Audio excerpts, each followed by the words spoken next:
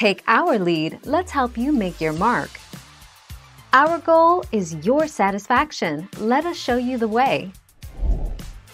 Creme fraiche. Creme fraiche is a cultured, thickened cream similar to sour cream. It's not quite as tangy, however, making it a suitable substitute for clotted cream. Like clotted cream, it has a slightly nutty flavor and silky, creamy texture.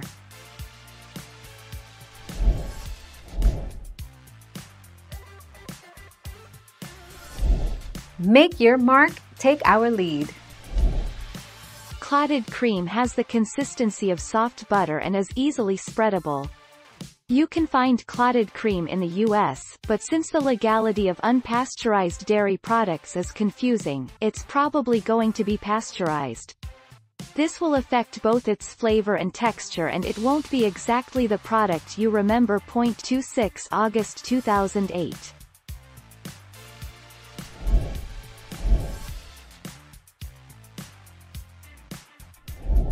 Make your mark, take our lead.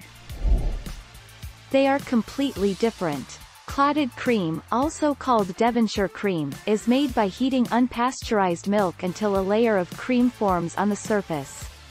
Mascarpone is classified as a curd cheese, unlike clotted cream and creme fraiche. The fat content in mascarpone is 25%. 16 March 2012.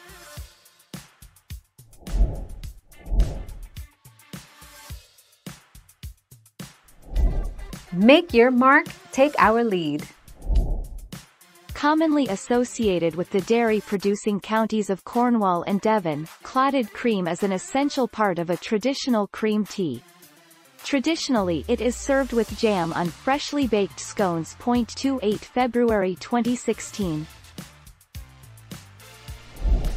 Thank you for watching. Please subscribe and hit the bell notification.